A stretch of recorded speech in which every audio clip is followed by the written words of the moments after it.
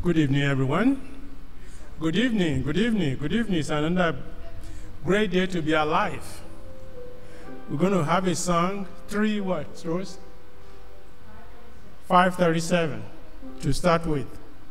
537, He leaded me.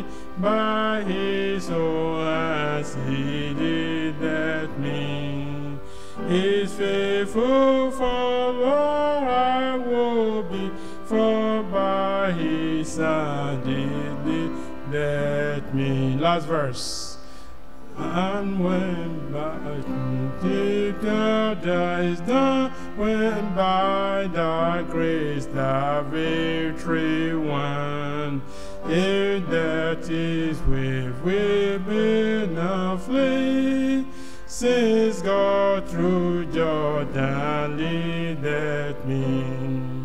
He leadeth me, he leadeth me, by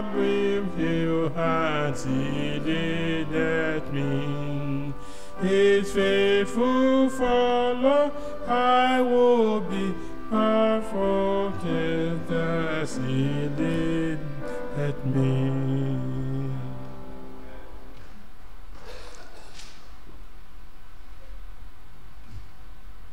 Hey, good evening.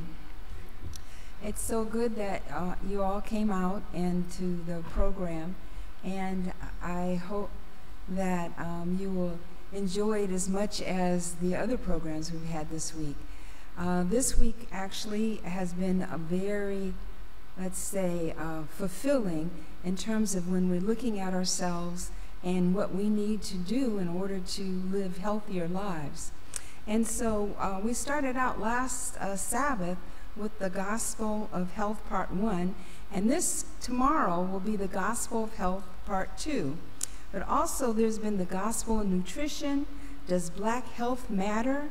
Uh, uh, discovering shocking truths, how sunshine affects all aspects of our life, and uh, Simple Remedies uh, session in terms of how we can take care of ourselves uh, naturally. And then there's going to be a second part to that tomorrow as well. So you're not going to want to miss any of the programs uh, that, are, that we have because so much are vital in terms of our health and growing and helping out and reaching others. So tonight, our topic is a lifestyle cancer cannot resist. And let me tell you, I'm really excited to hear about that. because that's something I, uh, have been trying to hopefully dodge all my life. So, so uh, what we'll do now is we'll begin with um, a uh, Brother Mayberry uh, will uh, do, be doing our talk, and I should have introduced him as well. But um, and but he's been here all week, and I hope you've gotten a lot out of it and gotten to know him and um, his dedication to the Lord which we really appreciate. So at this point, why don't we have an opening prayer? Everyone bow your heads. Dear Heavenly Father, we thank you so much for the opportunity to come to hear uh, how we can better take care of ourselves, and not just ourselves, but those around us, for us to reach out and use this as a way to help others and to help others find their way to you. We thank you so much for all the blessings you've given us. We thank you for the rich, fulfilling uh, week that we've had here in terms of learning so much. We thank you, dear Lord, for uh, Brother Mayberry and him being able to come and help us with all the things that um, we, we need.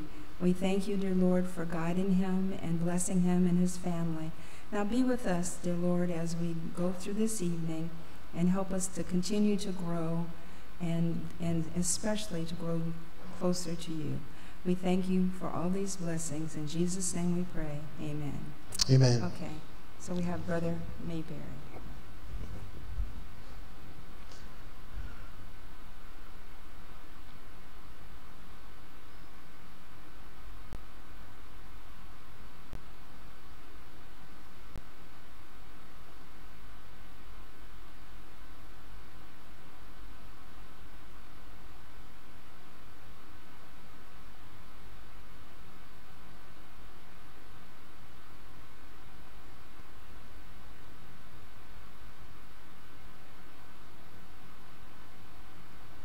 I to say good evening. We will be starting in just a second. I just wanted to grab something before we got started.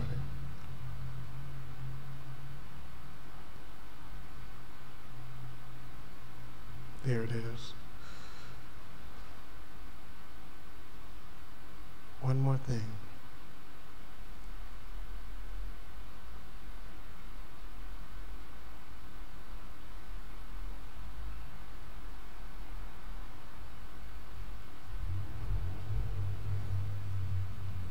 Thank you, Lord.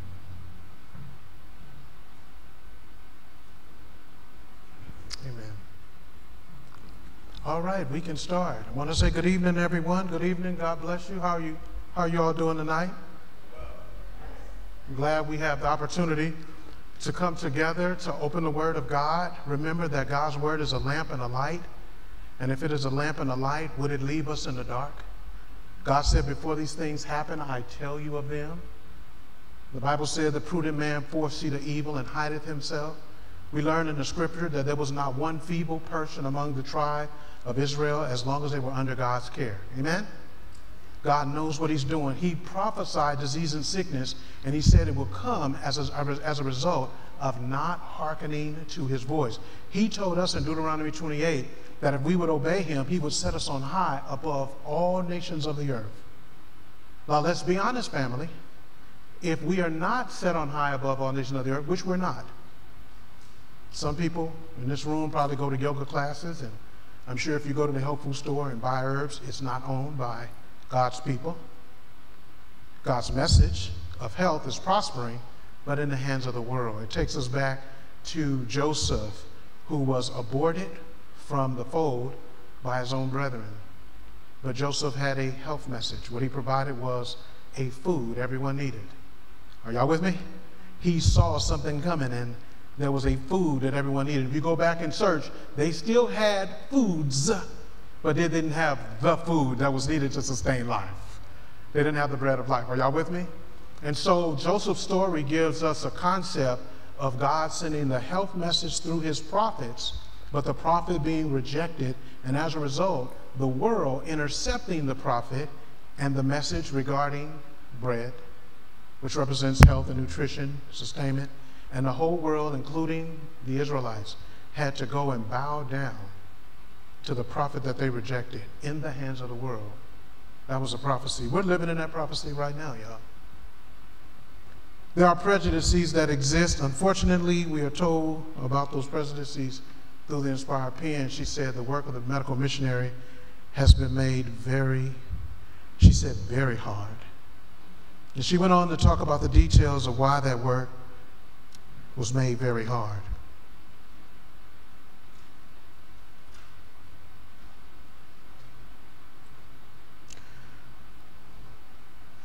I'm going to fast forward this document. I want you to see this quotation.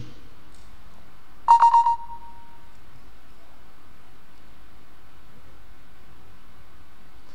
want you to see this quotation as we move forward. I'll try to drag it on the screen over here. Maybe we can look at it. I want you to see it because it's, it's, it's, it's that time where we have to try to wake up out of sleep. We can't sleep any longer. I'll blow this up and see if I can stretch it out. Glory to God. All right, so listen to this. It's not there. Let me go back. Oh, I'm going to have to somehow flip that page. Ah, okay. I want you to see this before we move on.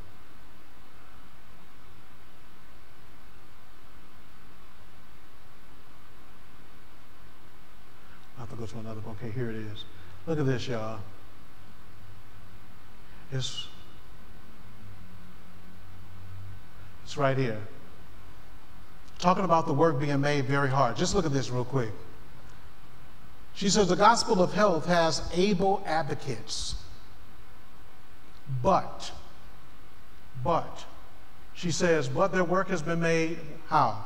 Very hard because so many ministers, presidents of conferences, and others in position of influence have failed to give the question of health reform its proper attention. They have not recognized it as in its relation to the work of the message as the right arm of the body. While very little respect has been shown to this department by many of the people and by some of the ministers, the Lord has shown his regard for it by giving it abundant prosperity. That abundant prosperity is not happening within our ranks. It's not happening within our circle. The world is in that state of abundant prosperity. Is such it's, it's prospering so much in the world that it's bumping shoulders with the pharmaceutical industry. And they are changing hands, switching up their style of, of operation to try to keep up with the, with the onslaught or that major swelling of this new, this new attention that's being drawn toward natural medicine. Uh, this has always been God's will, his plan for his people. Christ spit in the clay, anointed the blind man's eyes. He sent, Hezekiah, he sent Isaiah to anoint, to anoint Hezekiah's boils with figs, and he put Naaman in that muddy Jordan. We've always seen from God natural remedies.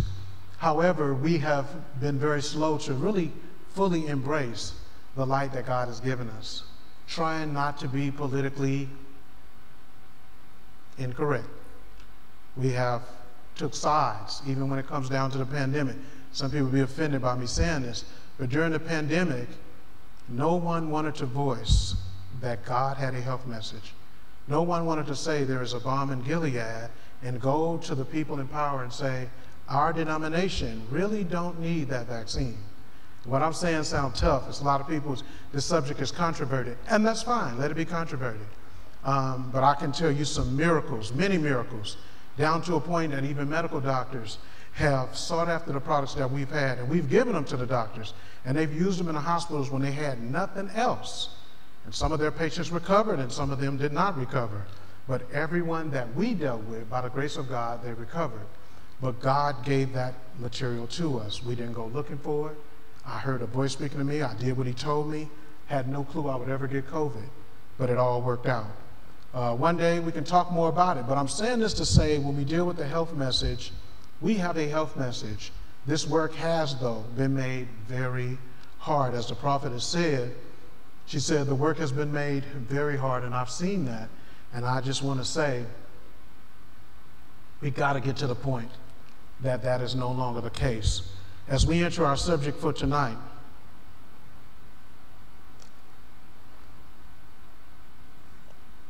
we will be looking at, at the subject of cancer. We'll be looking at the lifestyle that cancer cannot resist. And when we look into this lifestyle, we we'll be able to get some deeper insight on what's actually going on. Nothing is happening in this world that doesn't have spiritual backing.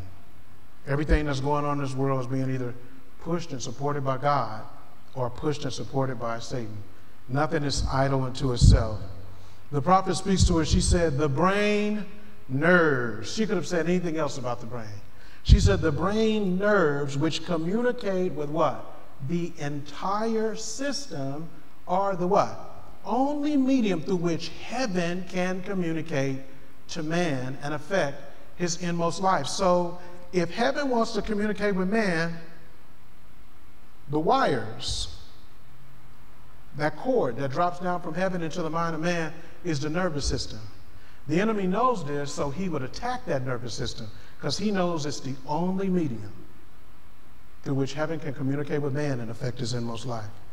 I'm going to go a little bit further. As I leave that portion and get to who we are today, I'll start with lifestyle. Anybody here ever flew on a plane before? Anybody ever flew for two hours on a plane? Yeah, you might be able to relate to what I'm going to say. Have they ever served food on the plane you were on? they serve food and, and, and you eat, right? I need some water. Yeah. They, they, they, they, they serve food and you eat that food, but then after they serve that food, they come back again with some more stuff, something to drink, right? And then you drink and you think it's all over. 15, 20 minutes pass, you're dozing off, and the next thing you know, here comes that cart again. And they're serving again. and if you're on a five hour flight, you're going to get plenty of activity dietarily on that flight.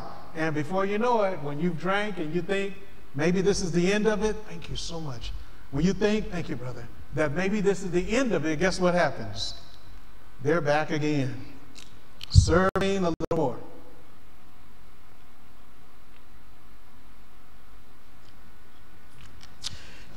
I'm going to tell you why I'm going into this. I want to deal with I want to deal with lifestyle. I'm going to deal with the fact that family, we are surrounded by a warfare that's going on we're not even aware of. The way that we are being served food is contrary to the way God wants us to eat. It's contrary to the way God wants us to live.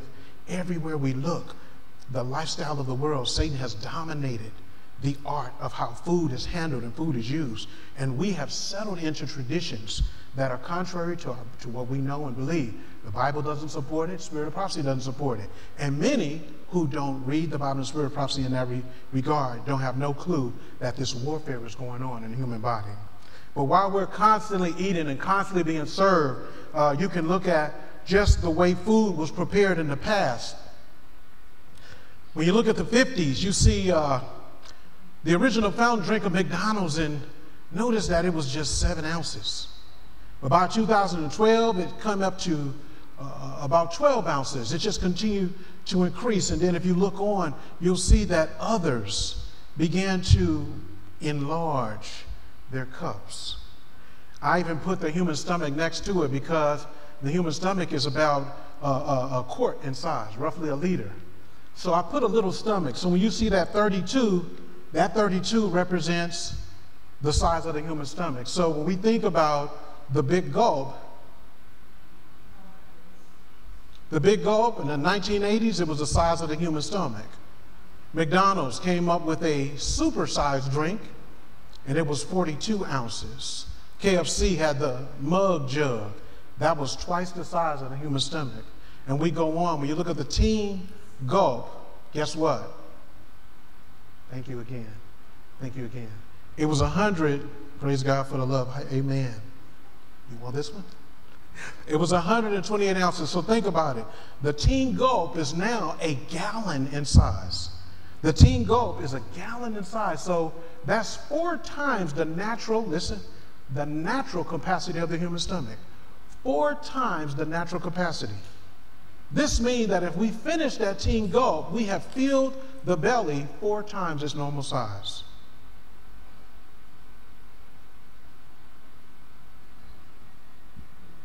Who's increasing our drinks? And what would that do to our mind? We've learned that the condition of the belly does become the condition of the mind, as we had heard through the prophet. It's not just the men with the big gulp, but even the women are taking advantage of this drinking opportunity. And not just this big gulp that you see at the fountain, uh, at, the, at, the, at, the, at the gas station and, and the different convenience stores, but Parents are even doing this for the little children. This little one, he's a small little fella, but he's joining into the tradition. And as we indulge in this tradition, something interesting is happening in the human body. I'm going to fast forward. There are books that don't end regarding food addictions and overeating. Uh, there are books dealing with, again, overeating and binging, etc., uh, emotional eating, you name it, but we're eating. I hope these photos don't seem too, too bizarre, but I'm going to show you some bodybuilders. These bodybuilders, they look fit, and they spend a lot of time in the gym working on their bodies. And there are women that get involved in that same experience, right? Female bodybuilders. But as we dip a little deeper into the dietary reality of the world today, guess what? Those bodybuilders have to eat a little more than how God will feed his people. They would eat six meals a day. Six meals. The human stomach needs five hours to fully process a meal. Five hours to fully process a meal. How are you going to feed? Six times five is 30. There's not 30 hours in a day that we're functioning. That's it's only 24 hours in a day. That's six extra hours that they need to ask the Lord to put on the day just to process the meals. When they eat this way, something happens. They flood the bloodstream with triglycerides. And when they flood the bloodstream with triglycerides like this, blood acid conditions increase. This is a welcome insight, believe it or not, for cancer. Blood sugar levels increase. Again, I said this is a welcome insight for many types of cancer. In fact, let's go and look at what we don't quite remember. In a book called The Itinerary of a Breakfast, written by John Harvey Kellogg, God revealed to his church what went on in the wilderness. He told us in the wilderness that he would feed his people twice a day. And he did that in respect to the digestive machine. But let's look at this machine and see how it actually works. Based on Kellogg's understanding and other pathologists, when a meal is taken in between 7 and 8 a.m., in four hours, it has already left the stomach and has passed through roughly 20 feet of intestine and it's making its way to the large intestine. That's four hours. By the fifth hour, it's entering into the ascending colon. Five hours. And in that fifth hour, we see another meal being taken in. We see another meal. We see another meal entering into the digestive system. But we'll go on a little bit further. By hour number 10, something interesting is happening. The first meal is going the, up the ascending colon, which we know it takes about generally eight hours in this last, roughly last six feet of colon. Uh, only four hours passing through the small intestine, which is 20 feet, or this last six feet, or last four feet. Uh, it's going to take uh, at least eight hours. So the breakfast is in the large intestine, uh, ascending up the ascending colon, passing the transverse. And the previous meal, after 10 hours, has come to where breakfast was in the last uh, illustration. This is 5 p.m. By the 11th hour, breakfast is passing through the ascending colon and passing down the descending colon, about to go up the sigmoid colon. That's hour number 11. In the 14th hour, guess what has happened? The breakfast residue is in the pelvic colon. In other words, 14 hours after you ate that meal, 14 hours after you sprinkled those sesame seeds on that, on that, on that food and you begin to eat it, your biomarker is supposed to identify your meal at the rectal site in 14 hours. That's very possible.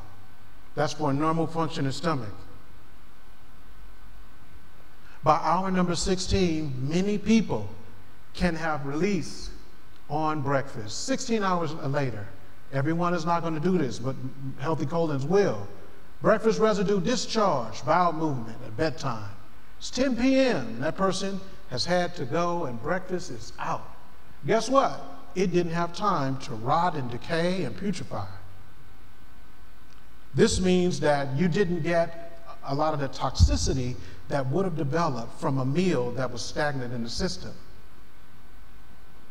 But in order for that breakfast to get there and for that to happen, you need fiber. If you're eating a lot of cheese, cheese is going to slow you down. It doesn't have that fiber.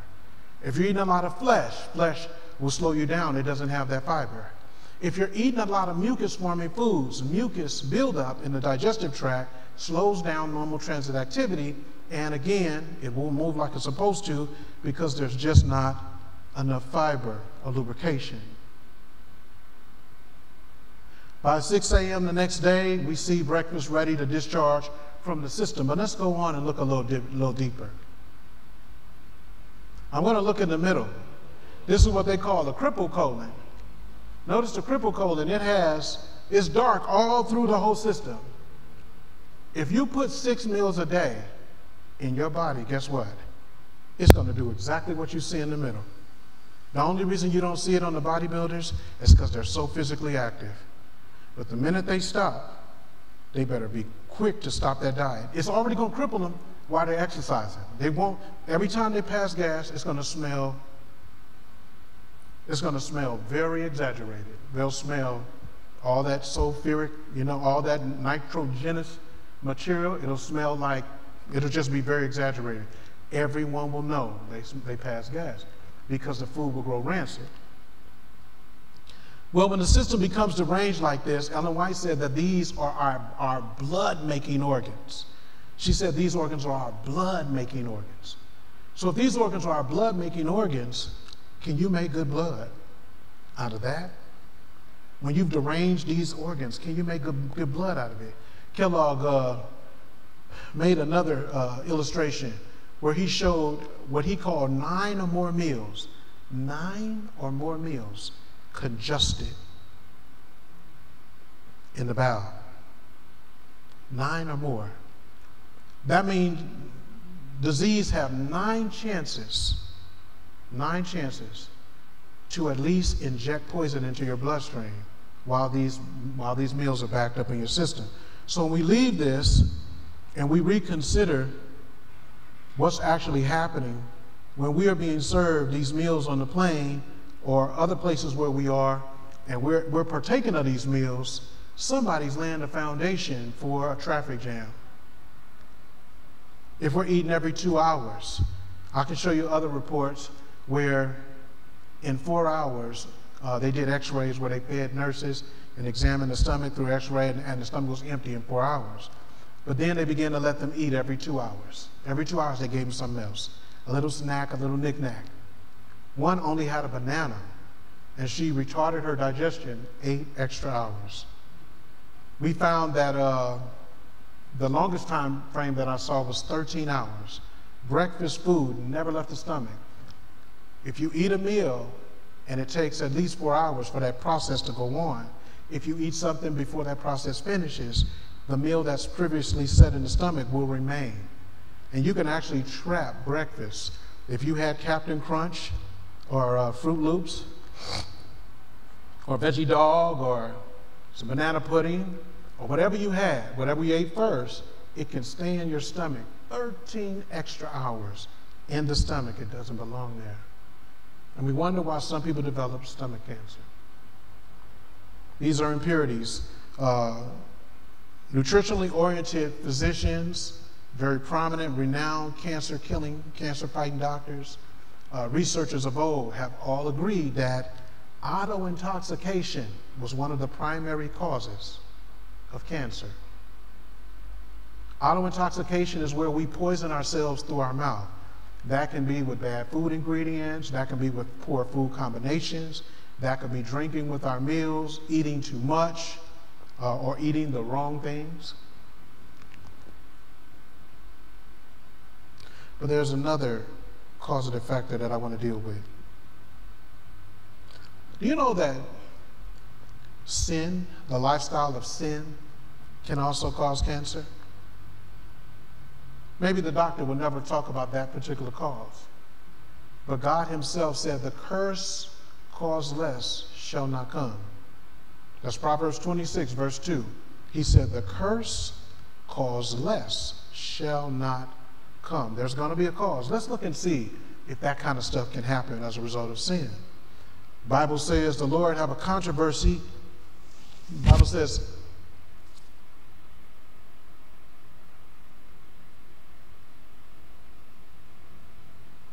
Yes.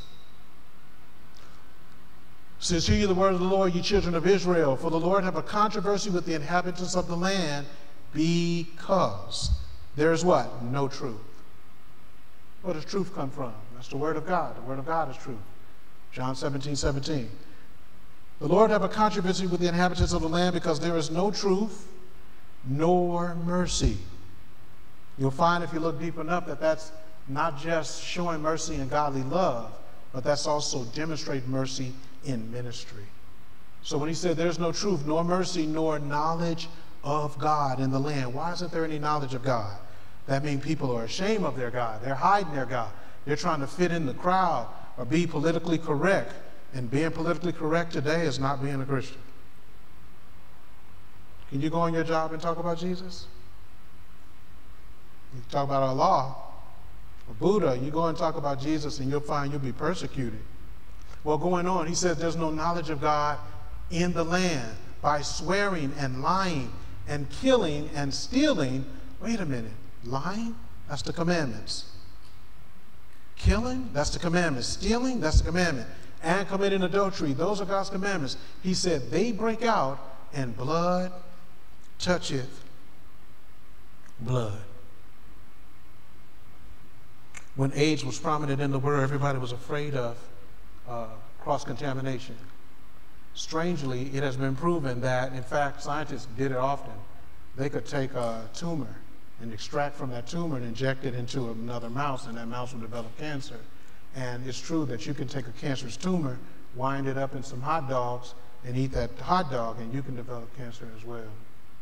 Blood, when blood touches blood, those cancer cells that are in the blood, they can enter into our blood. God said as a result of sin, blood will touch blood. And he says, Therefore shall the land mourn, and everyone that dwell therein shall languish. That means to waste away.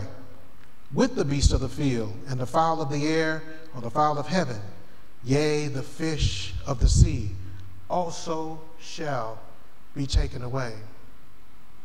We hear the beast, we hear the fowl, we even hear the fish. But he, he said the land itself will also mourn. But in that mourning, we see the beast, the fowl, and the fish being taken away. These are all flesh based animals, animals that have no fiber. But they would be targeted. Sin would manifest in sickness in the animal kingdom. And if we turn on our television or our media devices and we see on the news nothing but death and, and sin running rampant, bold robberies, crazy things going on, then guess what that tells us? That tells us that sin is alive and well. And if we see, hmm, I mentioned before that on the southern side, I grew up among one of the wildest bunches of people. But I went to go do a ministry for somebody who had a bad foot. And when I got there, the same people that used to terrorize the community were telling me, don't go out. don't go out. These children are crazy today. Oh, they're, they're robbing people. Yeah, and they said, don't go to the, don't go to a restaurant. They'll come in with guns in front of the camera and they'll take everything you have. Bold robberies, sin running rampant to a point that it has frightened the bullies of old and got them scared to go outside. But if that's going on, then in ratio to that, we should see disease in the animal kingdom.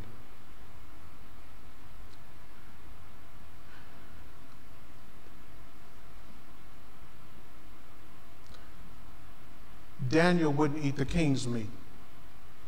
But God told us in Proverbs if you sit before a ruler, put a knife to your throat if you be given to appetite. The Lord said, don't eat his food, don't desire his food. Daniel saw in his wisdom what that diet would do to him. They changed Daniel's name, they sent him to a crazy school, and we heard no complaint from Daniel. They even changed his neighborhood, and we heard no complaint. Conquered his people, no complaint from Daniel. But when they decided to change his diet, his plate, Daniel said, I am willing to risk my head being cut off by the king than to eat that. That should have caused us to investigate. We'll keep going. The Lord said, My people are destroyed for a lack of knowledge. Because thou hast rejected knowledge, I will also reject thee, and thou and, thou, and, and thou shalt be no priest to me, seeing thou hast forgotten the law of thy God. I will also forget thy children. Have we forgotten God? He said, My people are destroyed for a lack of knowledge. But he didn't let us get by as being ignorant. He said, Because thou hast rejected knowledge. We have medical evangelists that have worked feverishly to try to hold up the arms of this beautiful people and this beautiful message. But their work has been made very, very hard. So much so that they often drop out and they disappear. As sin increase, disease will increase. So God tells us that men will languish with the beast of the field as a result of sin. So I'm saying to you, sin is one of those welcoming sights for cancer. But let me make it a little plainer. Let's go to the book of Job. Job said in, in Job 33, the Lord spake through Job and said, He is chastened also with pain upon his bed. Consider a stage for a cancer sufferer, somebody who's terminal. He is chastened also with pain upon his bed, and the multitude of his bones with strong pain, so that his life abhorreth bread, and his soul dainty meats. He doesn't want to eat. He doesn't even want the nice meats. He doesn't want to eat anything. His body is in a mode where it is trying to detox, so it will refuse food. His flesh is consumed away that it cannot be seen, and his bones that worse were not seen stick out. That means now you can see the skeletal form of his skull. He's now in a position where nature is reducing the amount of tissue on his body. Yea, his soul draw nigh unto the grave, and his life to the destroyers. If there be a messenger with him, an interpreter, one among a thousand, to show unto man his uprightness. God said, Then he is merciful unto him, or gracious unto him, and said, Deliver him from going down to the pit. I have found a ransom. I'm reading this because I'm telling you that from the Bible, God is saying the symptoms of terminal cancer can occur as a result of sin. He said, he says, His flesh shall be fresher than a child he shall return to the days of his youth. He shall pray unto God, and he will be favorable unto him, and he shall see his face with joy, for he will render unto man his righteousness. He looketh upon men, and if any say, I have sinned and perverted that which was right, and it profited me not. Some people, that one line right there will determine their future on that deathbed. If any say, I have sinned and perverted that which was right, and it profited me not, he will deliver his soul from going down into the pit, and his life shall see the light. Oh, that's beautiful. Lo, all these things worketh God oftentimes with man to bring back his soul from the pit to be enlightened with the light of the living. I'm not going to beat a dead horse, but I'm going to go a little further here with that decaying process. I have shown from the scripture that sin can encourage or welcome cancer. Sin can be one of those lifestyles that cancer cannot resist. Kellogg speaks and says the flesh eating habit loads the colon with a remnant of undigested flesh that undergoes the same changes which take place in the decaying carcass of a dead animal left to itself. Thus, the body is flooded with the most horrible and loathsome poisons. And no marvel, and no marvel, and, and the marvel is not that, the, that human life is so short and so full of miseries, mental, moral, and physical, but that civilized human beings are able to live at all. The civilized colon, with its accumulated residue of 5 to 15 meals or more, is a Golgotha pollution, a veritable Pandora's box of disease. Kellogg's given commentary on the colon, the human colon, the state of the colon. We're talking about the welcoming site for cancer. I'm going to pause here. I'm not going to go any further there. I'm going to start asking some interesting questions.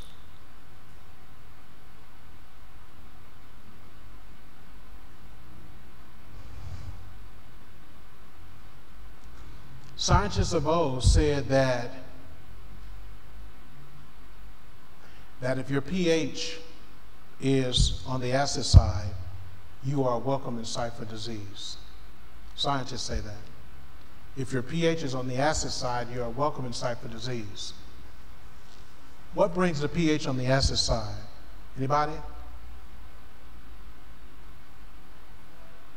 You say soda? She said soda does it. Yeah, that's true. It does. Why? It's a carbonated material.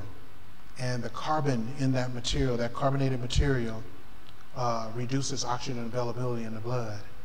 And when oxygen levels drop, acid levels increase. This would also mean then that if we don't exercise like we should, and we don't breathe like we should, no deep breathing, no alkalinity of the blood, right? So a lack of oxygen can also be a welcome sight for disease. This means if we turn the heat up in the winter and the summer, and we close the doors in our house and we, it's cold, it's cold, and we close the doors and we never let fresh air in, we create an acidic condition, which is a welcome sight for disease. What else causes acidity in the blood? Anyone else? Going to bed on your food. Going to bed on your food reduces the motility of that meal, stresses the digestive organs, and you can kind of say indirectly it can culminate into an indirect cause of acidity in the body. But I want to talk about one that we don't hear much about. Before I do, I want to ask and see if you know what it is. What is a food or beverage that increase blood acid levels in, a, in an exaggerated way. Anybody know? Protein. Protein does. When you increase excessive amounts of protein, you elevate uric acid levels. And again, if you have that high protein diet, but you're not breathing like you're supposed to, and you are drinking the sodas, and maybe you're doing something else, going to sleep on your meals, eating too late, and falling asleep on those meals. That could help to increase acid levels. But what about this food here? The coffee bean. Do you know that scientists say that a cup of coffee has more uric acid in it than a cup of human urine? If you put human urine next to coffee, the human urine is less acidic than the coffee. Isn't that something? Oh, it's too quiet in here. Saints, I'm not kidding. I'm not kidding. Remember I was talking about the brain nerve earlier? Coffee bleaches, it's a, it's a diuretic. So it pushes your water-soluble vitamins right out of your body, straight through your urethra. So coffee will be a perfect tool in the hand of the enemy because it can block that brain nerve. And I'm going to tell you another thing. You ever want to see I ain't looking at nobody because these people in this audience are a little bit, oh, ain't gonna look at them because I don't want to put no, I don't want to listen to this, y'all. Do you know that when a person drinks coffee and they are fully involved in a relationship with coffee, guess what happens? They have a problem with their patience. If they have to wait too long, they get cranky.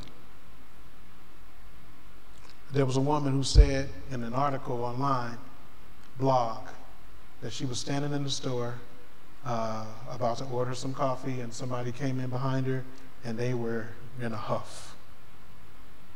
And she made her own commandment Thou shalt not stand in the way of a person who's trying to get their coffee. Isn't that something? Because of how impatient they get. We're just talking about acidity. This is one of the most toxic foods in the world, and I call it most toxic because of what it does to the brain. The prophet comments on it. She says it affects us morally. Who would think? But it's an acidic food and it welcomes disease. It is a strong acid, so it will welcome an acidic uh, state of the tissue, which could breed disease and sickness.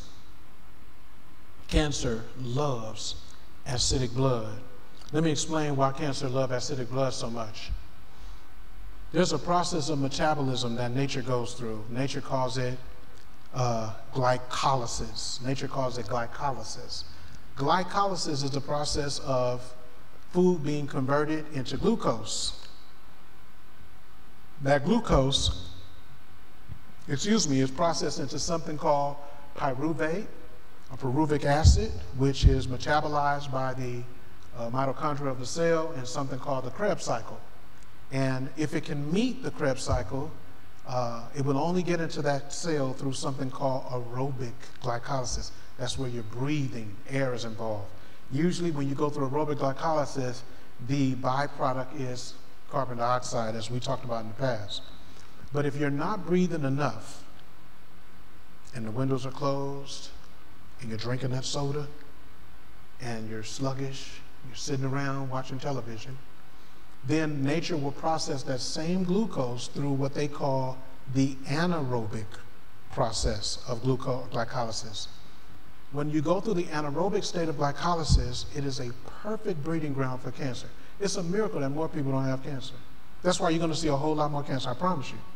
You're going to see a whole lot more. Cancer will always be the number two. Heart disease is going to be the number one. Cancer will rise up and get so close, but it will always be number two.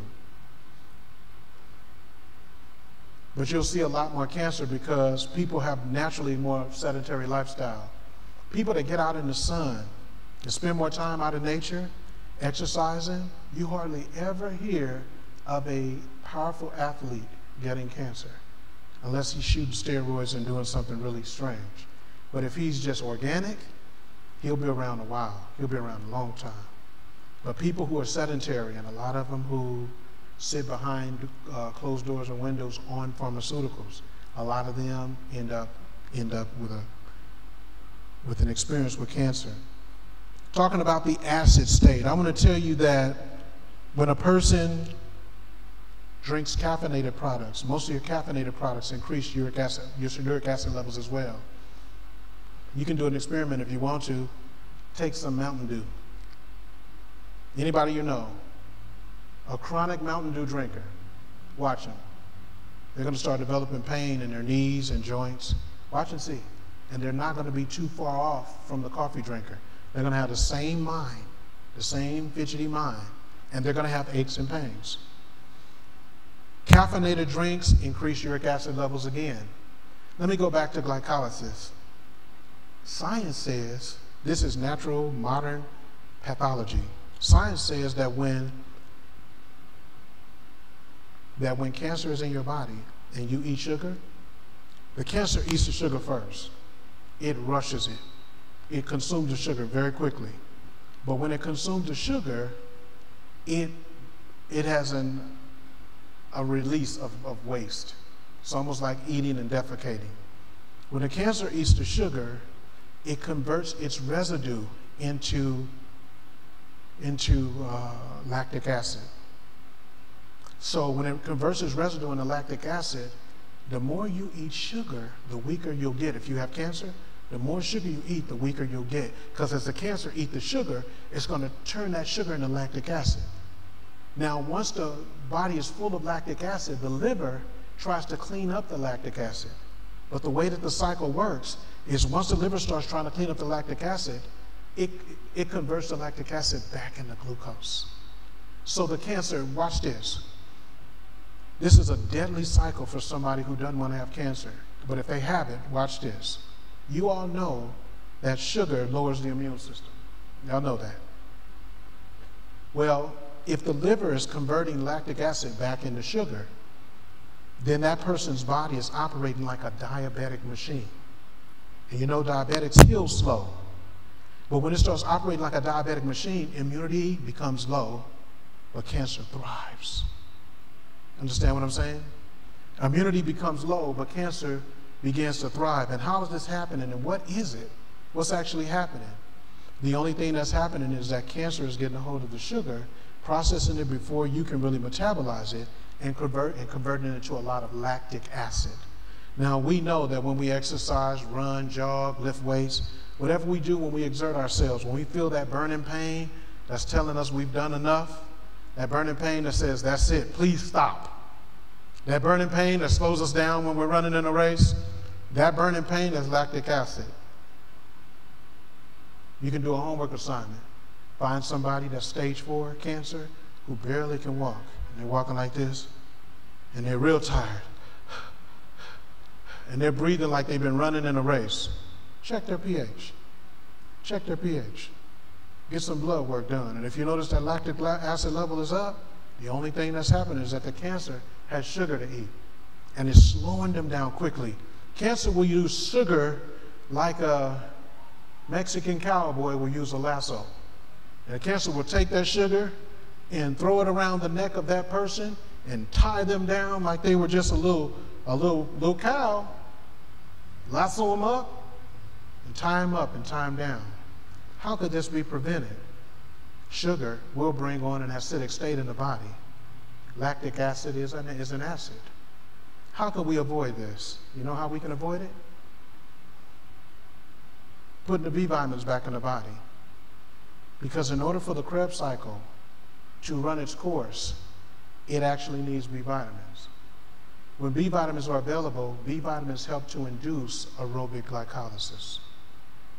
This helps to produce carbon dioxide waste instead of lactic acid waste. When you breathe out carbon dioxide, Venus and Serena were playing tennis the other night. We were just visiting, we saw it on the television. And, and, and they were putting out carbon dioxide. That doesn't hurt you. But if you're internalizing that carbon dioxide in the form of a different metabolite known as lactic acid, it's going to slow you down. So, Floyd, what are you saying in all that you said? I'm saying a high sugar lifestyle is a perfect welcoming site for cancer. The six meals a day is a perfect welcoming site for cancer. Why? When we eat six meals a day, anytime you contradict that five hour cycle, you force the bloodstream to be flooded with triglycerides. And that 13 hours that I was talking about, where food stays in the stomach, that 13 hours is 13 hours of glycemic exposure. That's 13 hours of sugar freedom, where that sugar is going to run rampant in the system and that pancreas is going to have to overwork. Your pancreas actually has the ability to help fight the cancer, not just in metabolizing the sugar, but it actually excrete alkaline materials. Your gallbladder has the same ability unless they've taken it out of you. If you don't have it, then you just don't have that advantage. We'll go a little bit further. Let's brighten it up and liven it up a little bit. Y'all ready to brighten it up? Let's brighten it up a little bit. There is a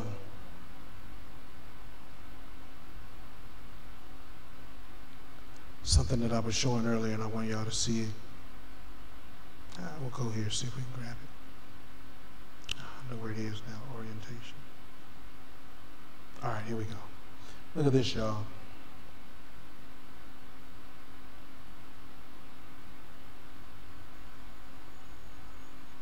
Some people have seen these pictures before. These are mutations of cells. These are mutations of cells. This is where the body starts to lose its capability to function normally. This is where cancer is gaining the march, gaining the advantage. But let's look at one of the other causative factors. A California man dying of cancer just appeared in court claiming a popular weed killer made him sick. In the first case of its kind to reach trial, Dewayne Johnson is suing Monsanto, the maker of Roundup. The 46 year old blames his 2014 cancer diagnosis on Roundup's active ingredient, glyphosate. Interesting. Hope there's no glyphosate in our garden. Hope that the gardener's not using any glyphosate around us. This morning, fallout from a monumental verdict. This case was historic. Friday, a jury in San Francisco found biochemical giant Monsanto liable for former school groundskeeper Dewayne Johnson's cancer. Johnson says constant use of the household product Roundup led to his diagnosis of terminal non-Hodgkin's lymphoma. Doctors have given him just months to live. The jury awarding $289 million in damages. If you know you're going to die, you might as well not die in vain. You might as well say to yourself, well, let's put this out here, what happened to me.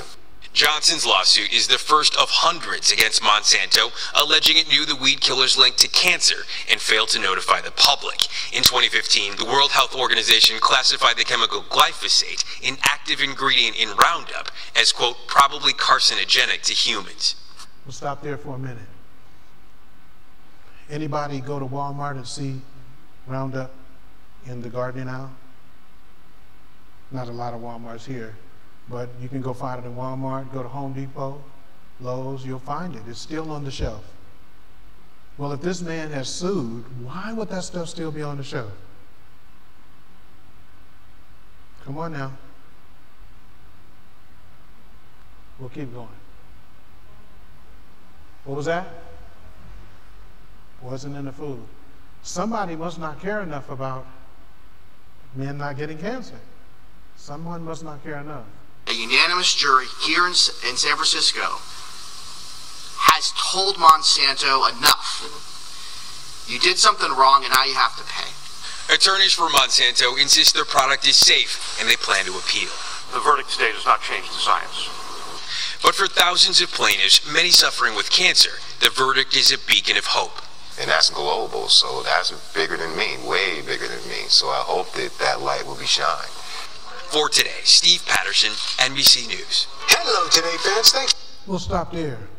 Through the Inspired Pen, we are told that pork also is a cause of cancer. She mentions pork as a direct cause of cancer. She had more commentary on cancer causes, but uh, she said pork is a direct cause of cancer. So the lifestyle that cancer cannot resist, one of them is glyphosate, having exposure to glyphosate. Another one is pork and pork products. Somewhere I have a video where they're showing all of these products that we use that are made from pork, that we use every day, and we put in our, a lot of the lipsticks and things we put on our bodies, and we know not that they contain the pork. And this also helps to produce cancer. Even with the veggie capsules, you're trying to get herbs in your body. There are gelatin capsules, some of which can be derived from, from pork itself. There's another innocent, well, it's not innocent. There's another causative factor of cancer, another situation that welcomes cancer into the human body. And uh, you may have heard of this, you may have put some thought to it, or maybe you haven't. But uh, I'll dig into it. And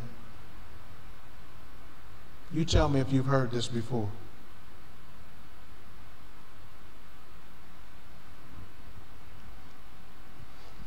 Baby powder. Anybody use baby powder? Baby powder is one of the most powerful agents for producing cancer. Lots of women with breast cancer, when I was a teenager, girls would put it in their shirts. They would put it in their shirts. You see it come out of their bras at the top when we were in high school because we were trying to be fresh. We boys would put it in our shoes, you know, trying to keep our little feet dry and not sweating. And some people put that powder in other places. But guess what? That powder is known to cause cancer. Known to cause cancer. It's a welcoming site for cancer. And I'll just kind of go ahead and go through these, these, these images so you can see. This is a breast that has been removed. You see the tumor on the breast. Unfortunately, cancer. Woman's breast being taken off. This product called talc, uh, destroying the woman. And think about it. If it's this way, we shouldn't have that stuff on the market. Why would that be on the market? Destroy that woman. Notice only her breasts are affected. You can Google and find this. For years, pharmaceutical companies have known that their baby powder products contain carcin carcinogens. Notice what we're about to hear here. Welcome back. Pharmaceutical giant Johnson & Johnson has experienced a rough few days on Wall Street. Its company investments have been falling since an explosive report published by Reuters last week revealed Johnson & Johnson knowingly covered up facts that its popular talcum powder products could cause cancer. This isn't the first time that the 132-year-old company has come under scrutiny for similar accusations. RT's Anya Parampil has the latest. For decades, women around the world have used Johnson & Johnson raw talc and baby powder products as deodorant or antiperspirant. Thanks to a Reuters investigation, we now know over those same years, the company knew its products contained carcinogens and conspired to shield that information from the public. Reuters took a look at internal company documents which have been revealed through a lawsuit filed against Johnson & Johnson, a lawsuit which includes 11,700 plaintiffs now claiming that the company's talc caused their cancers. The documents demonstrate, quote, that from at least 1971 to the early 2000s, the company's raw talc and finished powders sometimes tested positive for small amounts of asbestos, and that company executives, mine managers, scientists, doctors, lawyers fretted over the problem and how to address it while failing to disclose to regulators or the public. Quote, the documents also depict successful efforts to influence U.S. regulators' plans to limit asbestos in cosmetic talc products and scientific research on the health effects of talc.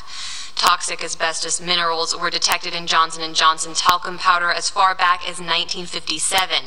What's more, the documents show J&J lied to federal regulators in the 1970s when claiming no asbestos had been identified in their products. If ingested through the air, according to the World Health Organization, quote, all types of asbestos cause lung cancer, mesothelioma, cancer of the larynx and ovary, and fibrosis of the lungs. Thousands of individuals currently suing J&J are women who claim they've developed ovarian cancer because they've used Johnson & Johnson products. And they're not alone. In July of this year, a St. Louis jury demanded Johnson & Johnson pay $4.7 billion in damages to 22 women for that very reason. Still, Johnson & Johnson's outside litigation counsel told Reuters, quote, the scientific consensus is that the talc used in talc-based body powders does not cause cancer. This is true even if, and it does not, Johnson & Johnson's cosmetic talc had ever contained minute, undetectable amounts of asbestos. These denials directly contradict the internal memos and reports now available online for all to see.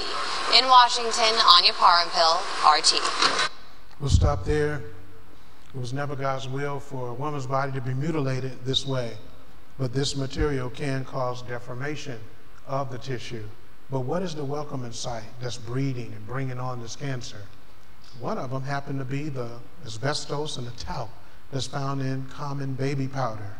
So we see baby powder, we see uh, the sugar factor, we see lifestyle as far as being sedentary and not breathing properly uh, these things also produce a welcome sight. We see the high sugar saturation that's in the world today. Everywhere you turn, uh, products are oversaturated with sugar, and if we consume those products, we weaken our immune system. And guess what? In weakening our immune system, if we decide we might want to just want to just go for for for a hot dog, that's what happens.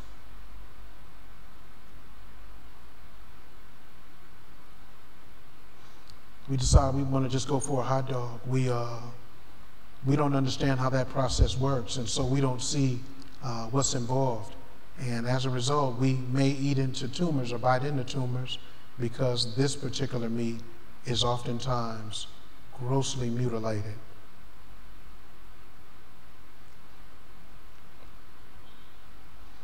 I noticed some uh, very interesting uh, images. I'll see if I can pull them.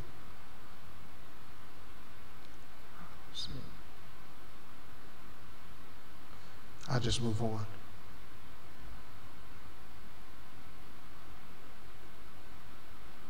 We'll come to things that are common to us.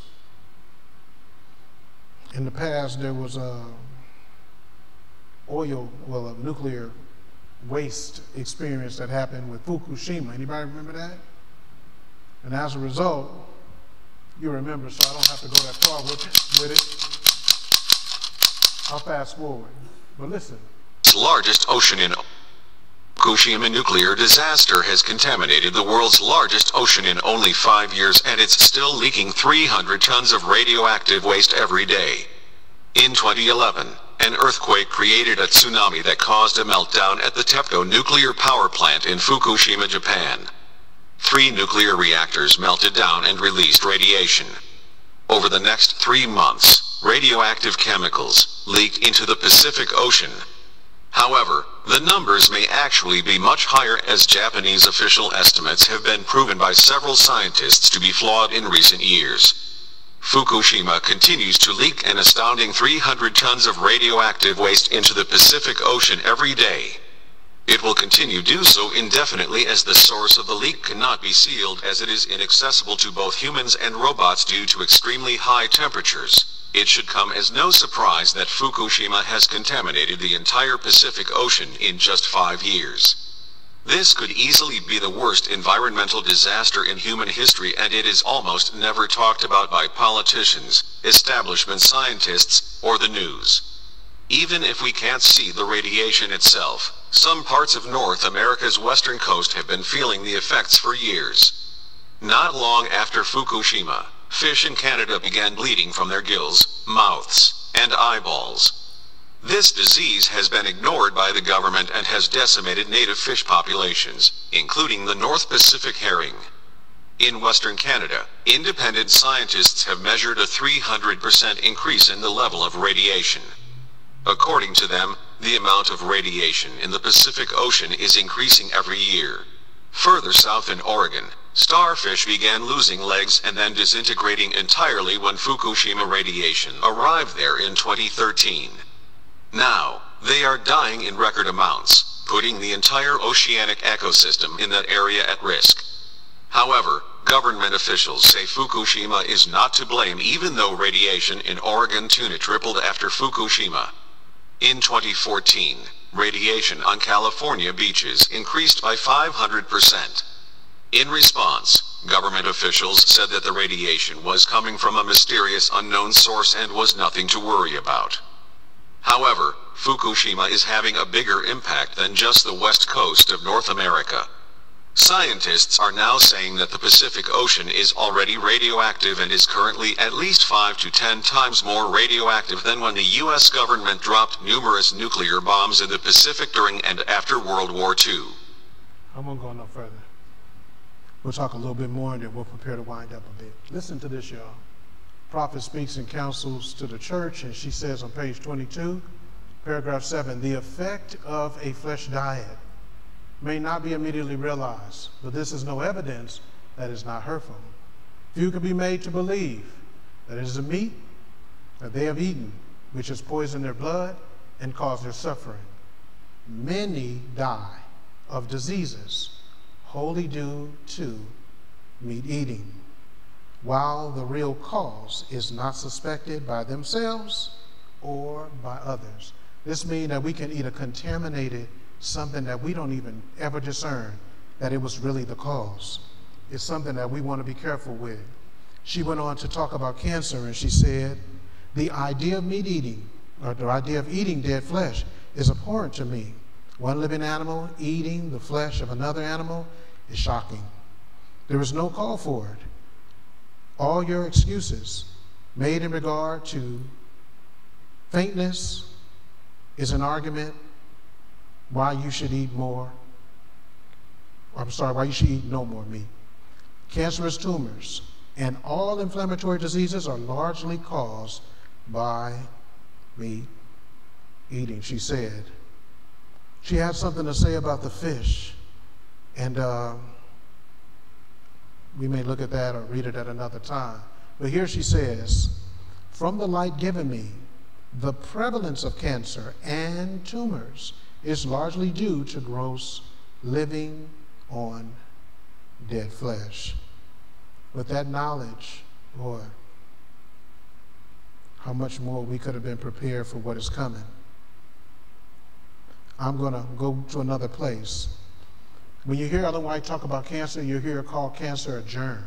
She refers to cancer as a germ. You look at a germ, a germ falls in three categories bacteria, virus, and fungus.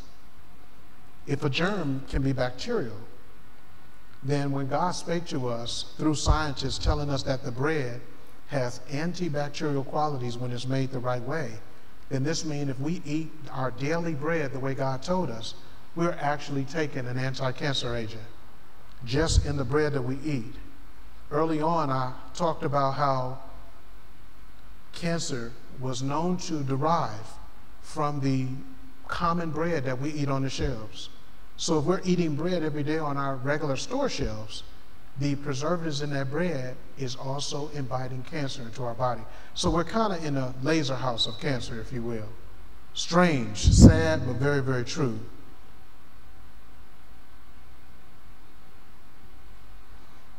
I'll mention just a little bit and then we'll wind it up. When excess insulin spills into the bloodstream, science says that it suppresses bile secretion. Anything that suppresses bile secretion is going to reduce how much calcium our bodies are going to pick up. Our fat soluble vitamins are going to suffer. Alkalinity in the blood is also going to suffer. Now, this can come as a result of just eating between meals for a long period of time. So, the women that were on the plane giving out all the food, if people are used to eating like that all day, they will eventually suppress bile. And as they suppress bile, they will increase acid conditions of the blood. Unfortunately, if their posture is not good and they have poor posture, they're still not going to be deep breathers. If they're under stress, stress, unfortunately, will also exaggerate and exacerbate a cancerous condition. If a person has cancer, stress can be terrible. What makes stress so terrible is that stress increases cortisol levels, stress increases epinephrine levels, and all of these are what scientists call hyperglycemic hormones. When you are scared, fight or flight is a sugar factor. So when you're in fight or flight mode, you're keeping sugar available to cancer cells. Anyone who's in stress or distress in their heart will feed the cancer. If they're angry, they're going to feed the cancer. If they're afraid, they're going to feed the cancer. We've heard people say in the past that thyroid, I apologize, I'm looking at this.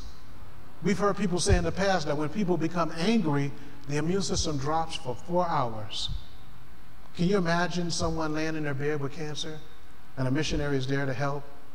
And while he's discussing with the caretaker what he's about to do, there are other family members arguing, and we don't believe in that, and we don't want that in here, and they're arguing with each other over the help guest.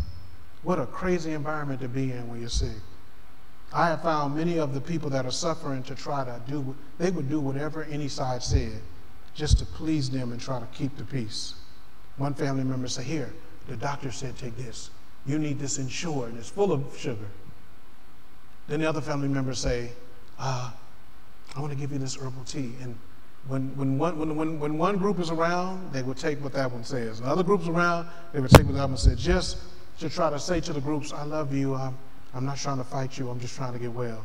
Unfortunately, it's a really bad place for somebody who's suffering with cancer because they're playing politics trying to fit in. I can go on all night talking about the multitude of acidic products that will promote the activity of cancer. Who would have ever thought that when you take a little too much salt in your body, you turn acidity up in your body? Salt. Who would have thought when you take a little too much salt, when you're excessive with the salt, you cause an acidic state in your blood? Isn't that interesting?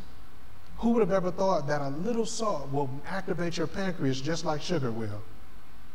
We should have known that. But our time is spent somewhere else where we're distracted. But yeah, a little salt will activate your pancreas and overwork it just like sugar will. But we should know that. That means that little bag of potato chips. we say no sugar in here. And we crunch and crunch, and I've been guilty myself. But it's no good. Go ahead.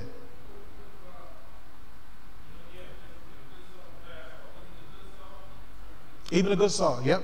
Even a good salt. Excessive amounts of the good salt. Once we do too much, nature will begin to protest. And strangely, that's why if you'll notice, some of the wise guys who work with cancer, they will give them little to no salt. They're very light-handed on the salt. And you'll hear the people complain about it. But those guys know that if you give too much salt, you're going to start beating that pancreas up. And the pancreas, when it's overworked and beat down, you, you actually need the pancreas a lot when you're dealing with cancer because the pancreas is supposed to subdue the glucose levels. It's supposed to help regulate glucose levels. It's supposed to secrete the insulin. And without that insulin, it's hard to get glucose into the cell and get it out of the main blood environment.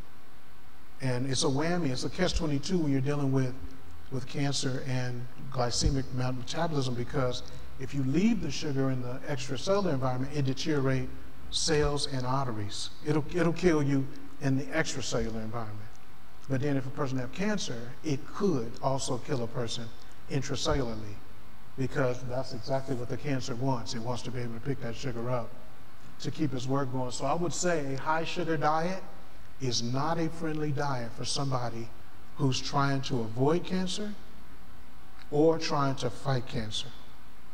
So putting that sugar off, make your sugar your healthy sugars. Oranges, apples, cherries, blueberries, blackberries, cantaloupe. Make convert your taste buds where fruit become your dessert. If you get to that point, you're in a winning position. But if you continue to abuse the pies and the pastries and the over-sweetened desserts that we see in a lot of the stores, your blood is perfectly prepared for cancer. Cancer will be like a match, and the blood will be like a stack of dry hay in the summertime. As soon as that match hit it, it's going to find a perfect environment to thrive. And most people are in that position.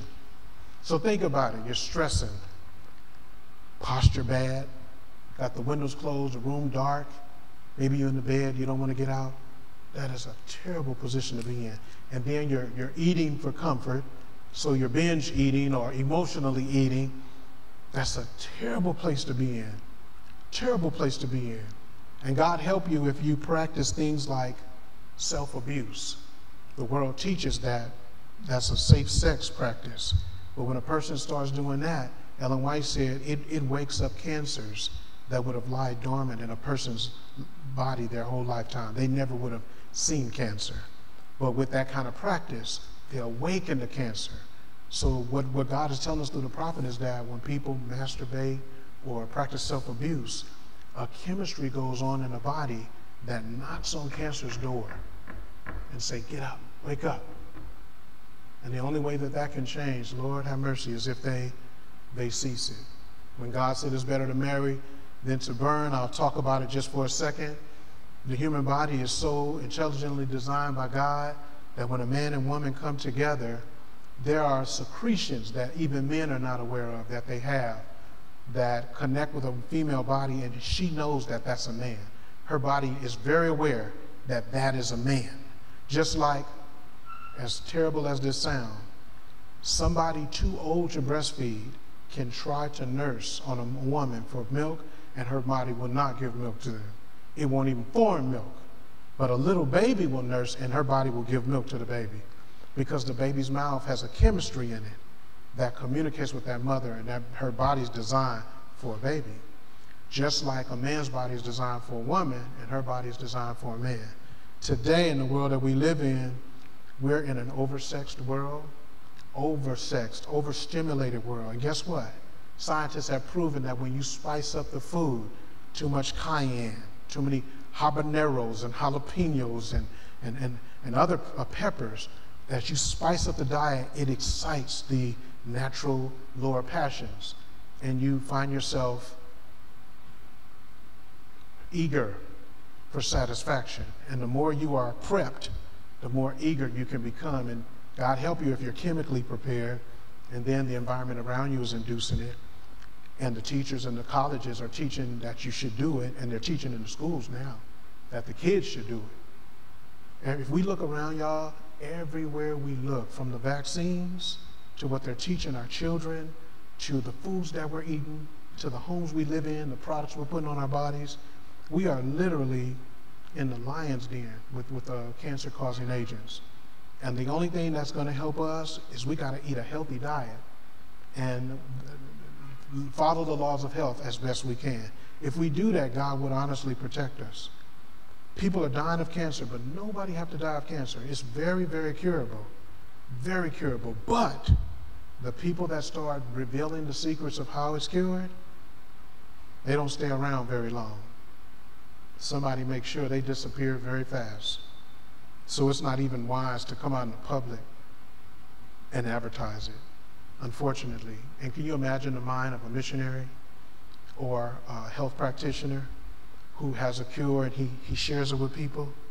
If you knew what I knew, it's a, kind of a tightrope. Uh, look at the history. Guys have come out with cures, and they've gotten disappointed because they thought they would get a lot more support, even by the people behind them, but they, st- they end up standing alone. And it becomes very depressing to them.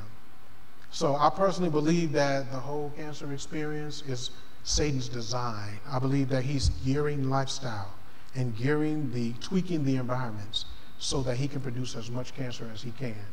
Let me say this last thing that's a shock to you. There's an element called selenium that's naturally found in the soil. And scientists say wherever selenium is found, cancer is not found. They're saying that if you live in an environment where the soil is rich in selenium, you won't see, you won't see cancer there. Do you know what's shocking? During COVID, you heard a lot of people pushing products. Tell me a few products that they push, I'm going to share some with you, going to shock you. What were people taking naturally to get rid of the uh, COVID, to, to fight the virus? Say it a little louder. Zinc. Do you know when you take too much zinc, it depletes your selenium? Too much zinc depletes your selenium reserve and lays a foundation for you to develop the cancer. Isn't that something? Well, I would say this. Once you exceed your recommended daily amount, I would say roughly 25 milligrams of zinc. If you exceed that, you really, if you're a man and you've been really messing up and you're trying to replenish, and you're doing 50 milligrams of zinc, I won't do it for too long. 10 days. After the 10 days, just live your life. Eat right. Eat black eyed peas once or twice a week. And that's enough to give you the zinc you need. And just exercise and live the right way. If you do that, you'll be okay. But if you take zinc supplements and you're just popping and popping and popping and popping, they have some benefit to you in relations to colds and stuff. But over time, nature's going to build a tolerance, and you won't have that, that selenium reserve, which is so important. It also, selenium supports your liver and works hand in hand with glutathione, which is very important for helping to fight, you know, that cancer bug. So in all that I've said tonight, I will not prolong. The lifestyle that cancer cannot resist is the lifestyle, unfortunately, that most of us are living. If we're not getting enough water, we're not even purging our blood. Our blood is 90% water. The human blood is 90% water. But if 90% of our drinks are not water, then our blood is 90% in trouble. Body 75% water. But if 75% of our hydration intake is not water, then we have done a disservice to our bodies. I read through the Inspired Pen, and I got to read this one before we close. And the White made a very interesting comment, and I took it and I saved it because I thought we should read it.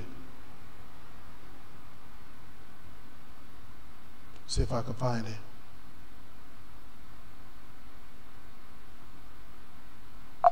Nah, I don't have it here in my notes. I thought I did.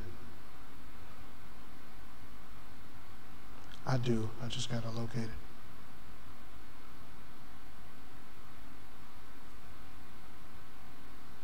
If you would give me just one second, I'm just looking this one place.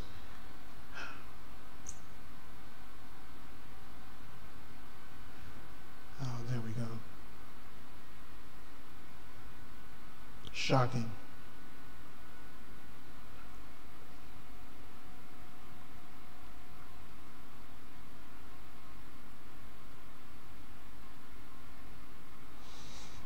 Read this quotation, even though this is not the one, I'm going to still read it. She said, To become acquainted with the wonderful human organism, the bones, muscles, stomach, liver, bowels, heart, and pores of the skin, and to understand the dependence of one organ upon another for the healthful action of all, is a study in which most mothers take no interest. Are you a mother? Have you taken interest in that? If you haven't, she's definitely a prophet because she said most mothers don't. She says they know nothing of the influence of the body upon the mind and of the mind upon the body. The mind which allies finite to the infinite, they do not seem to understand. Every organ of the body was made to be servant to the mind. Isn't that interesting? That means that when the organs of the body are affected, the mind is directly affected, saints. So if Satan want to mess with our mind, he can mess with our body. Going on. The mind which allies itself, okay, it says every organ of the body must be servant to the mind. The mind is the capital of the body. I'm just going to state what she said earlier. She said that it is just as much a sin to violate the laws of our being than to violate God's Ten Commandments. Uh, there's another place where she talks about uh, brown foods, crispy foods. Now, this is, uh, this is general science talking. It's not a white. It says when some vegetables like potatoes are heated too high to too high temps, they give off a chemical called, and you can pronounce that. Studies show that rats who took this particular acrylamide in their drinking water got cancer. You hear that? That means another lifestyle that can invite cancer is that shh, you know they get everything is got that batter. You know the batter, right? It's gold. It becomes golden brown. They might put that batter around some shrimp or some drumsticks, and then they had a deep thing of grease at the you know the fast food place, and then they they just that grease is looking innocent. It's quiet, and then as soon as they put that rack in there, that grease ferociously just start cooking whatever goes in it, and it just browns it up. But the Lord is telling us that deep fried and crispy fried, and we like it crispy and crunchy. It's fun, crunchy. Just come with a price. And it's the same thing with the meat. When the meat falls, when the fat of the meat falls onto the coals, when we barbecue, blacks like to barbecue, that, that, that, that fat distills back up onto the meat. And what hits those coals and, and burns, and when it distills back onto the meat, that meat is carcinogenic. And we eat that. Hmm. Isn't that something? Many are not aware that when you drink coffee, scientists have said that the same combustible materials that's in cigarette smoke is in the coffee, the roasted coffee bean. When we drink it, we got a low grade liquid smoking going on. Isn't that something? The decaf is even worse. The decaf has something in it called methyl chloride. You can look it up. Methyl chloride, methyl chloride. Methyl chloride is a chemical that they use supposedly to draw caffeine out of the coffee bean. But the merchant is not a fool. If you look at methyl chloride and you look at the Environmental Protection Agency's records on methyl chloride, you'll find methyl chloride is more of an excitotoxin to the nerves than the caffeine itself. So they got another agent that'll keep you still with a little kick. And it's just as deadly as what they're taking out. In other words, the drug dealer is going to get his money one way or another. I know that we're not necessarily doing it this way. And the truth, the truth be told, I'm not here to like fake nothing. If the truth be told, even our tofu that we dip down in the deep fried. Once we get it crispy fried, tofu ain't no better. Let's tell the truth. Not no better. The sad thing, Brother Alabi, is it's hard to find a place where we can eat right. We see that we see it, but what can we do about it? There'll never be a change if somebody don't stand up and do something. And some men who are willing to stand up, people, they, they kind of duck down and say, oh, he's being aggressive. He's being a tyrant. But you got to do something to get people away. You got to say, hey, let's do something. Nehemiah had to chase people and pull hair out of people's head just to get the wall built back. Sometimes strange situations like that bring results. All right, we're going to leave it here. We've talked a little bit about the lifestyle that cancer cannot resist. Cancer likes stress, it likes sugar, it likes eating between meals. It loves when you close your windows. It hates when you exercise. It likes the person who refuses to exercise. And I know you're going to point the finger at me, but it likes people that don't go to bed, stay up too late. It does. It does, y'all. It does. Because you do most of your healing during your sleeping hours. We're going to wind up here. I'm just going to ask a couple of questions and then we're going to we're going to pray a special prayer tonight. We're going to ask God to protect us. Only God knows how many people in this audience right now could be, have tumors and cancer in their body and don't even know And I didn't talk nothing about what to do. But I'll talk about that just before we close. I'll give two remedies, two simple remedies. Any questions? Anyone? Anyone?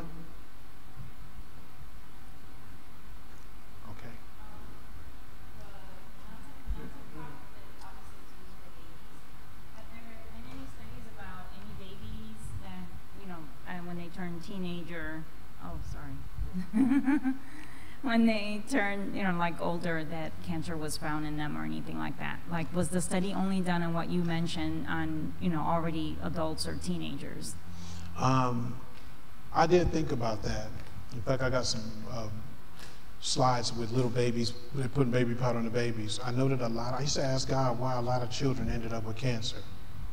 You have these children's cancer hospitals, and we would have to investigate. I haven't heard anything, but I can definitely see what's going on with that. When I was a kid, we used uh, those powders too. And uh, many people that we know, you know, end up with cancer. I look and wonder, you know, and thank God that we didn't get it. But I can see how babies can be afflicted. And we got a lot of kids in these children's hospitals who want to come up with cancer. We think, what did that child eat wrong? How did the child get cancer and the parent doesn't have it? But if you remember, when children come into the world, it takes time for their immunity to develop. And they come into the world compromised. And if they're exposed to certain things, the risk could probably be just as high as adults. I don't really, well, little children don't have breasts, so they, they, can't, they don't generally de develop breast cancer.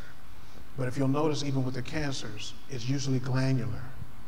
Um, the glands inside of a woman's breast, the prostate gland, pancreatic cancer, the pancreatic gland, thyroid gland, thyroid cancer, um, pituitary tumors, it's also a gland. Um, you see a lot of these cancers affecting the glandular system. Um, I don't know um, any other studies on children in relations to what the origin might be. We know that those children aren't smoking and that they're not under a lot of stress, they're not drinking a lot of coffee and stuff. They may be eating a lot of sugar, but the only thing I can see is asbestos. I can see baby powder. Uh, those are two things I can see, and then hot dogs. Things like hot dogs, that, that can also help to produce it. Though, and then a low, a low functioning immunity. If you look at COVID, they were always concerned about children and elderly because the immune system of the children wasn't very strong. Uh, yeah, um, it's been said that um, vegetarians are kind of lacking in some of their minerals, uh, especially B12. And a lot of vegetarians actually use a multivitamin every day. On a long, on a, on a constant basis, is that uh, bad for you? Well, I'll say this. Somebody does a lot of defining, and I don't believe they know what they're talking about. When you look at the vegetarian kingdom in the animal world, who's given them their B12? When you look in the wilderness where God took all flesh away from Israel and he only gave them the corn of heaven, if you look at corn, you'll see that there's a disease you can get from corn called pellagra. Um, but no one had pellagra in the wilderness. But someone could have easily said that in this age, oh, what about pellagra? And they could be very concerned. And it would look like a legitimate argument. And the B12 conversation is something that scientists have said, but they've been wrong before. And they once said that a person couldn't even live on a vegetarian diet. And that was the furthest thing from the truth. They were denying what God said about Israel in the wilderness. They were denying Adam's lifestyle and Adam's diet. I'm perfectly sure Adam wasn't um, eating a few of the little, little bitty chickens that were in the Garden of Eden to get B12. I'm sure that he was perfectly okay. I believe what happens is that when we context the way God wants us to, I believe nature compensates herself. I believe nature has her ability to produce her own material, just like nature produces her own cholesterol, regardless of how much we, we eat. If we don't eat no cholesterol at all, nature will still form it and produce it uh, herself. I believe that our bodies can and will do that same thing with any material that we need. Somewhere, Ellen White said that through fruits, nuts, grains, and vegetables, and we can probably find, I'm sure if I search it on software, I'll find it. She said through fruits, nuts, grains, and vegetables, all the nutrients the body need can be acquired. Isn't that something? Well, I shouldn't say isn't it something. God showed that to us in Genesis, and he showed us in, in the wilderness as well. So I hear the scientists, but I'm not listening to them. They'll tell me, and this is controversial what I'm going to say, they'll tell me I need a COVID shot. And I'm not going to listen to them. I got COVID. I didn't die. I know a million people who did. I know people who got COVID and died. I know people who got shots and died. But they'll tell me if I don't get the COVID shot, I'm going to spread it or I'm going to die. And I know better. I know better. So, trusting God, learning how the human body works, very important. And think about it. Where's the horse getting his B12? You know, and other vegetarian animals.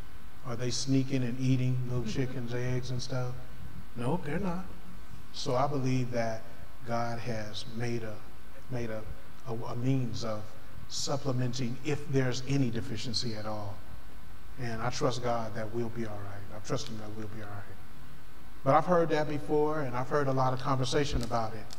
But I've also seen that when we are on point, we lack nothing at all. We lack nothing at all. And you'll really see it when sickness come around. When we do right with our bodies, we do well. We do very well. Very, very well.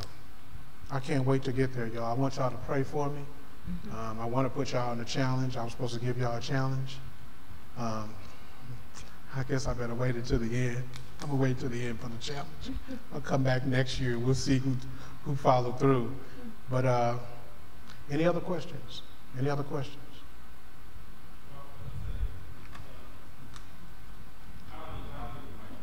Well, for the people online, we do, because they can't hear the questions if we don't. You, you talked about the um, with kids, um, the the powder, the kids, you know, that's put on kids, and the hot dogs. But what about the? I don't know if you mentioned this earlier. Cow's milk, because most kids are getting cow's milk, not breast milk, and even adults are stuck on that cow's milk. And I say that because um, all through my teens and halfway through my 20s, I was doing about a half a gallon a day with cookies and cakes and pies. So cow, and I said I would never give it up because I was stuck on the cow's milk. And I know a lot of people drink cow's milk. well, think of it this way. I had some, I had a neighbor and he raised cattle down in Missouri where we live. And um, it's a little bit funny because they were always sick. They'll make fun of us for being vegetarian, but they were always sick. And um, he had some cattle, and he would have to go to the local, what we call MFA, and get pharmaceuticals for his cow. Now, he wanted to eat the cow, but the cow had got sick too, just like he was. So he, he, he, he gave it some booster shots, and some of the cows died and he just took them to the back of his property and the vultures ate them. But when his cows would get sick, he would give them a lot of pharmaceuticals. Strangely, when cow's milk is being produced, we got a lot of dairy farms out there where we live. Inquire and ask any dairy farmer, what are they screening for when you give your milk to the companies? What are they screening for? What are they looking for in that milk? It's a sad reality that a woman cannot use drugs and breastfeed her baby. They won't let a heroin addict drug breastfeed her child or a woman on, on, on some, some, some drug breastfeed her baby. But there are people who are drinking the milk from cows that are on carcinogenic material. There are some of the pharmaceuticals that they give to the cattle that are literally carcinogenic. We have no business. In fact, even the labeling tell you it's carcinogenic and they're giving it to the cow. Then the person turns around when the cow looks like he's okay, they eat the cow. And so I would be very careful with that cow's milk. The same way we've seen a lot of fraudulency with the meat packing industries. Uh, the same way there's a ton of mercury in the fish and other poisons. I guarantee you, even the cheese, I have worldly people who are not thinking about being vegetarian, who won't touch cheese at all because they work in the cheese factories and they've seen what go on, and they're like, no way. And I know that that milk is not exempt. That milk, think about it. Everybody's abusing their job nowadays. Police beating everybody up for nothing. everybody. Babysitter beating the baby when nobody's looking. You'd better not think that milk is all right. better be careful. And I'm going to say this. What is the replacement of the cow's milk? If you want a quality amount of calcium in your body, one of the things you can do is remember leafy green vegetables is Grand Central Station. You got a lot of power. Anybody in here, I'll give you this challenge put a living green meal on your salad, on your plate every day, whether it be spinach leaves, romaine lettuce, or any kind of leaves, green leaves. If you eat two fistfuls of green leaves, I bet you you won't be the same. I'll give you 10 days. You'll be a different person. Russell, you know what I'm talking about. We did that challenge. Good stuff. Come on. Russell, I didn't fell off of it. I want to get back on, but it's hard to do it in the airport and, and other places. It's just hard but I want to go back. So pray for me, saints. My life is unstable because I'm living hard trying to make things happen. And it has caused me to overwork. But I want to get back to where God wants me. And I'm believing that when I get back here next year, I got something to prove. I'm, I'm disappointed about this trip. Sister Rose called me and I was down. I was like a boxer who hadn't trained for the battle. Usually I have enough a couple of days and I can I can do a cleanse and all that and trim down, but the Lord said, You're going just the way you are. Tell the saints what you done did. so I'm just being honest. Saints, I got caught not doing as I should have. But God is good. Um, we'll, you'll see. I promise you, you'll see a big difference soon. I've seen major changes with just a little bit. In fact, I was sharing with Brother Brown earlier. You'll see. Watch and see. You'll see what I'm talking about. Um, we have a lot to gain, and God's going to give it. He's going to grant it. You can replace the cow's milk with uh, carrot juice as well. Your carrot juice provides calcium. You can drink it all day, every day. It doesn't harm your body at all. You get no trouble out of the carrot juice. Only thing it'll do is detox your liver, pull mucus from your body, um, make your heart very, very strong, make your bones amazingly strong, make your eyes super sharp. Uh, it has no negatives. The carrot will benefit you tremendously, and it's a perfect replacement for milk. And it will give you far more energy than you can get from milk, and even with your energy drinks, the carrot will give you energy with no trouble, and you'll like it. You'll like it a lot. Do we have any other questions before we wind up? Any more? Okay, our time has come. I want to thank you for coming out tonight. Uh, it's a battle. I tell the saints all the time, it's a battle. Uh, to be a medical missionary in 2022 and to try to acquire what is needed to be effective in this work, it, it's a battle. Um, there are those that may get things handed to them or given to them and praise God. That's not my story. Uh, then again, it is. There are times people do give us things and we're able to move forward. But in this short time, the Lord has allowed us to acquire a lot for just a small group. Uh, and we should see big, big changes in the very near future. Please keep us in prayer. I know my time is not up yet. I'll be here Sabbath. I'll be here tomorrow. It's Sabbath now. The saints, uh, pray for me. Uh, tomorrow's message, I'm wrestling in my heart. Uh, I will definitely share. Uh, just praying about what's in my heart. But uh, as far as cancer is concerned, there are some herbs that can help you and they'll be your friend. One herbs you want to remember is burdock. Burdock is your friend. If you're dealing with cancer, burdock is your friend. Chickweed is your friend. You want those herbs. Red clover, that's your friend. Despite what anybody say, astragalus, that's your friend. Pau d'arco, that's your friend. You want those herbs. Those herbs are your friend. If you use those herbs and exercise and eat at least uh, a salad, regardless of whatever else is on your plate, if you eat a salad a day with those herbs in your system and you exercise, go to bed on time, stay away from stress and sugar, you'll find that your body can do very, very, very well. You'll probably break that chain. The more exercise you put in, the more you breathe deeply, the more your, your pH levels change. When you get up past seven, cancer should be taking a back seat. The closer you get on the alkaline side, the further cancer will back away from you. But it's important to exercise. You can't do it just drinking or taking pills or sleeping. You gotta exercise. Oxygen debt will cause waste elimination. Proper amount of water, good nutrition, uh, eliminating stress, eating on a schedule, not eating too much. That's enough to help you overthrow that cancer thing. You don't have to be a rocket scientist. You can simply tell yourself, I'm going to get in the best of shape that I've ever been in, and you push it with everything you got.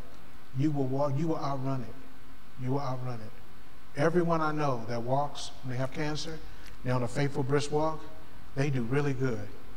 The ones who say, I don't want to walk, I don't, I don't feel like it, they don't do well. The one who drinks their teas do well. The one who says, I don't want that, that's nasty.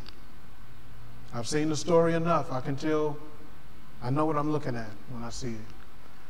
Tonight, I want to ask if we can rededicate ourselves to God, our bodies, as we open Sabbath tonight. I just want to, I just want to ask God to, to have mercy on us. I know something on, on, on, the, on the screen that you saw tonight, you probably have been guilty of. Did anyone see anything that they were guilty of? Or maybe you guys are a lot better than me. Just raise your hand if you saw something or you heard something that said, I got room to improve. Well, I definitely see that for myself. Let us have a word of prayer. I just want to pray a special prayer to God, just asking Him to reclaim our bodies and minds. And I want to ask if He will become our personal doctor and our dietitian and our instructor. Father, as we look to you, we do thank you for the holy Sabbath hours that have come upon us.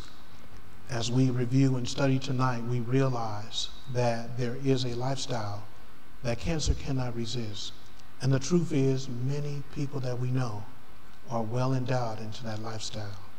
Lord, even in this room, we, there are areas where we can find in the study of tonight where we can improve. Lord, we want to do better. We want to eat right and live right. We want to walk right before you. We want to walk and march toward the Canaan land and not toward Egypt with our lifestyle. Please be the God that healeth us, as you promised, I am the Lord that healeth thee.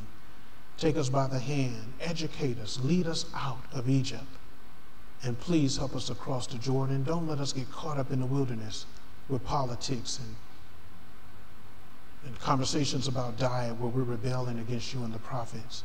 Give us the conviction to deny ourselves, and like Caleb and Joshua, to be willing to stand up against giants if we have to, to accomplish our goal. Please reclaim our body, our mind, and spirit. Be our physician in chief. Help us to get back to studying the human body and the medicine that you've made available. Lord, that when that day of testing may come, like Daniel, we may know what we shall eat and how we shall live. Reclaim our bodies, prepare them to be a living temple, holy and acceptable in your sight. We pray this in Christ's name. Thanking you, Father. Amen. Thank you again for coming out tonight. I hope you learned something. Um, I love to review. I learn as I study. Uh, I hope you all have a great, a great trip home have safe travels. And the Lord say the same. We'll reconvene on tomorrow. 9.30 a.m. First session, uh, part two.